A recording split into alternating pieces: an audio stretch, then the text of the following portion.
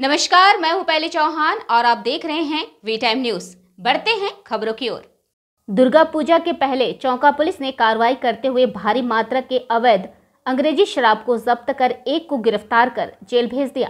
सरायकेला, खरसावा ज़िले के चौका थाना क्षेत्र के मुसरी बेड़ा में पुलिस ने गुप्त सूचना पर नारायण महतो के घर में छापेमारी कर घर में 10 पेटी में रखे अवैध नकली 120 अंग्रेज़ी शराब को जब्त कर नारायण महतो को गिरफ़्तार कर जेल भेज दी।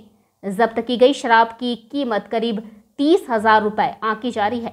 पुलिस की इस कार्रवाई से शराब माफियाओं में हड़कम मचा हुआ है। चौका थाना प्रभारी धर्मराज कुमार ने बताया कि दुर्गा पूजा को लेकर बेचने के लिए नारायण महतो ने शराब अपने घर में रखे थे। पूछताछ के दौरान कई अहम सुराग मिले हैं। वी टाइम न्यूज़ के लिए चांडिल से कांग्रेस महतो की रिपोर्ट।